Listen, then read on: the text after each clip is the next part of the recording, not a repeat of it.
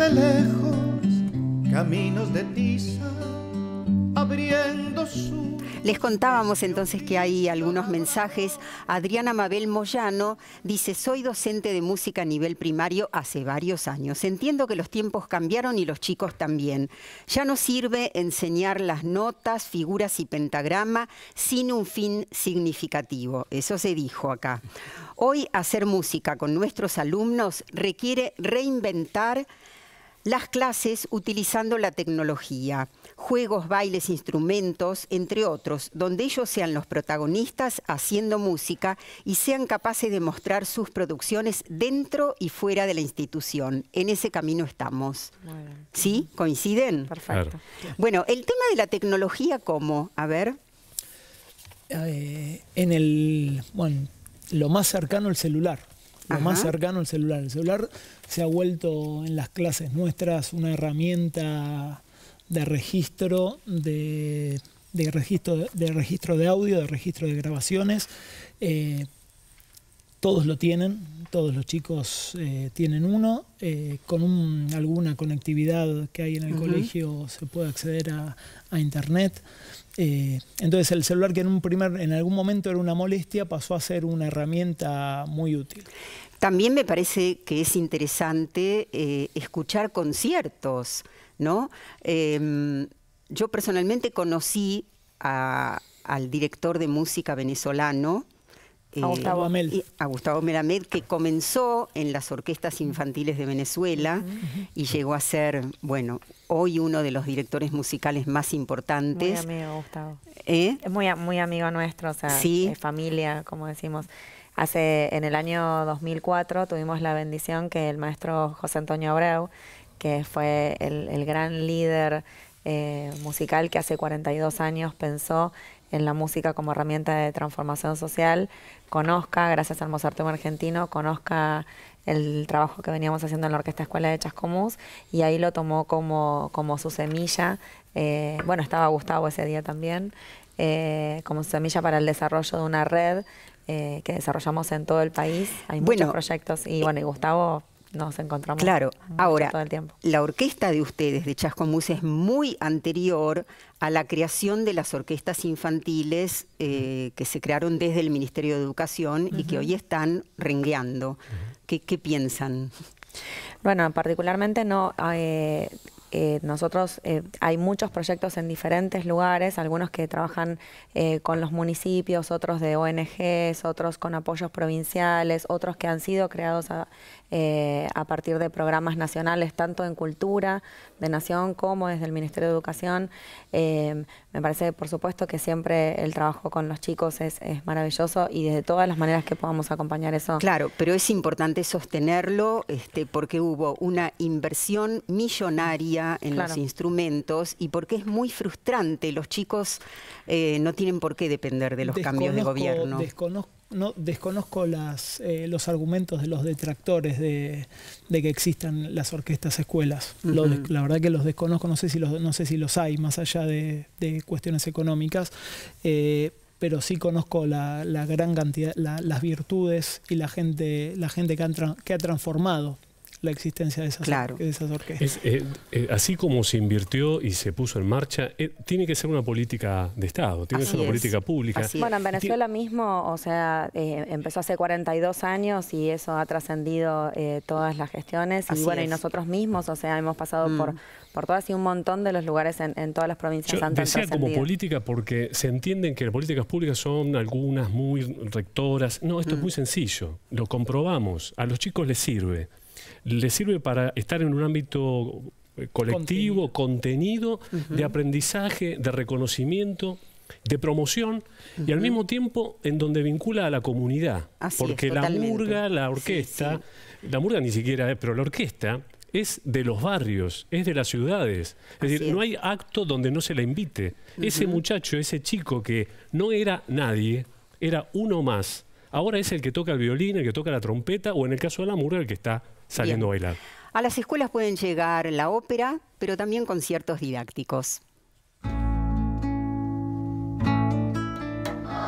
Aparte, parte se ve muy rara. ¿Saben por qué? Porque si yo soplara como soplé la quena recién así, mira, ¿dónde queda el último agujerito? No alcanza.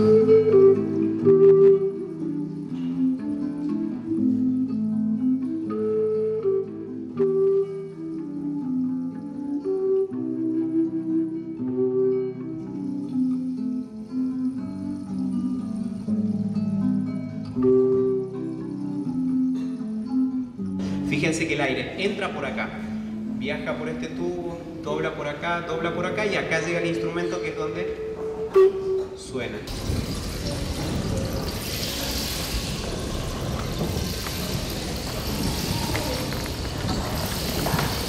Piedritas chiquititas, vidrio molido. Todo eso que pasa va cayendo y se va chocando contra las espinas. Eso es lo que produce ese sonido tan parecido al agua, pero acuérdense que no hay agua acá adentro.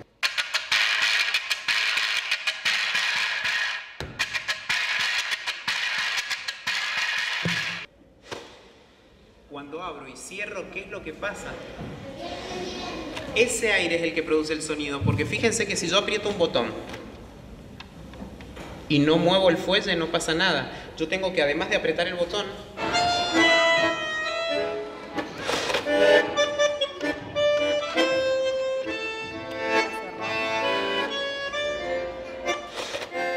Son conciertos didácticos que Pablo Iglesias lleva a las escuelas. Ustedes vieron la página www.nuestrosinstrumentos y que apuntan a promover eh, y a dar a conocer los instrumentos autóctonos. Está bueno, vos antes hablabas de esto y quedó trunco que no, no sucede seguido esto. Y esto parece que pasa en una escuela privada o en un jardín. Pero acá hay una- un dato que es importante. La cooperadora escolar en una escuela pública puede hacer mucho por esto. Seguro. Porque está este muchacho hay un montón más. Claro, y, y es más, adentro de las propias comunidades siempre hay un músico, una música que pueda hacer esto.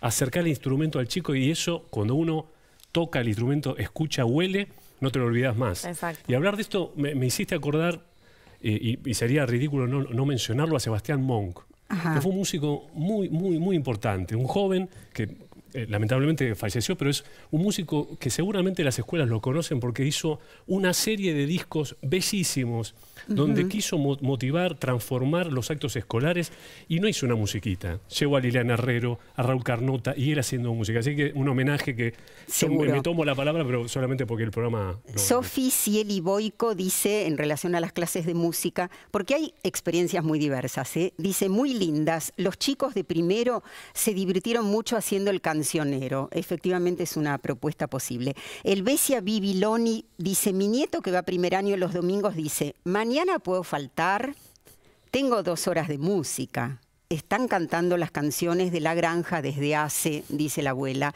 Bueno, esto de puedo faltar porque total hay música, seguramente es, eh, es algo que tendríamos que desterrar definitivamente. Sí, son experiencias puntuales que, que habría que ver qué hay detrás de, de esa, de, ese- de esa historia. Sí, está súper estudiado además que el, eh, eh, en todo el ámbito y hasta ahora, ahora también en la neurociencia el impacto súper positivo que tiene el estudio de la música y en muchos lugares del mundo lo tienen como parte de la currícula. Me parece que es un gran desafío nuestro. Y yo ahí, eh, como dije al principio, eh, hay materias en, en la escuela que tienen mejor prensa que otras. La música tiene, eh, música tiene, tiene, parece que fuera secundaria y realmente se puede, se puede alcanzar los mismos objetivos desde la música que desde, desde las matemáticas. Tal cual. eh, independiente o, o desde la matem- o se puede trabajar bien matemáticas y alcanzar los objetivos que la matemática propone o mal matemáticas o Sí. bien música o mal O música. relacionar o integrar más. Nos vamos a la bibliografía. Experiencias estéticas en los primeros años de Claudia Soto y Rosa Violante. Yo les cuento que acá hay un artículo muy importante de una gran educadora y que ha participado muchísimo en los currículums de música, que es Judith Akoski. Bueno, tenemos, aquí nos acercó Carlos Iglesias, Semillero Murguero, Formar con Murga para la Inclusión eh, con muchísima información, ya nos contaste un poco de qué se trata. Y hay una serie de CDs que tienen que ver con producciones de las escuelas. Sí, exacto. Son, hay, traje cuatro discos, ediciones del, tres del Carlos Pellegrini. La primera orquesta fue una orquesta de tango, la, la primera orquesta que grabó un disco, que lo editó en realidad antes hubo un uno de folclore. El segundo una big band de jazz, que también cada caso la orquesta está armada eh, en función de la gente que había para armarla. Digamos, el organigrama tenía que ver con eso. Bueno, les agradezco muchísimo a los tres.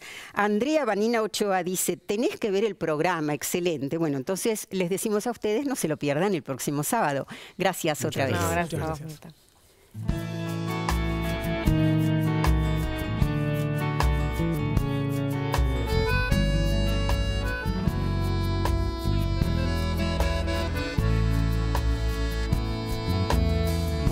Mochila al hombro, cuaderno nuevo, pájaro de papel.